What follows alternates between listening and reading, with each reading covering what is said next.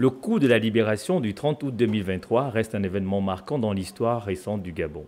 Face à la contestation des résultats de l'élection présidentielle et à la montée des tensions politiques, le Comité pour la transition et la restauration des institutions, CTRI, a pris le pouvoir, mettant fin à un régime marqué par de nombreux défis économiques.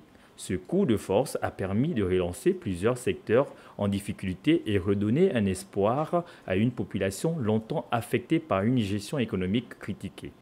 Nous avons tous, quelles que soient les positions qui étaient les nôtres, applaudi la décision des forces de défense et de sécurité d'orienter notre pays. Lors de sa tournée, le professeur Ndoum Essingon a détaillé les réalisations du CTRI depuis le 30 août 2023, soulignant les avancées dans plusieurs domaines clés.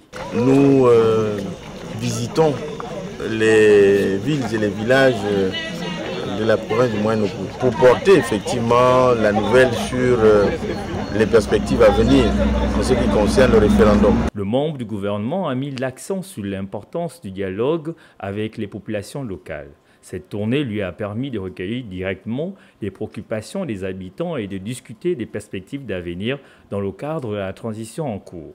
La présence du ministre dans les villages de Logoué et des lacs symbolise une volonté de rapprochement entre le gouvernement de la transition et les citoyens, avec pour ambition de bâtir un avenir plus prospère pour tous les Gabonais tant souhaité par les autorités de la transition. Nous sommes engagés dans la construction commune de notre pays. Quel est le message également du président lors de son adresse à la nation le 16 août?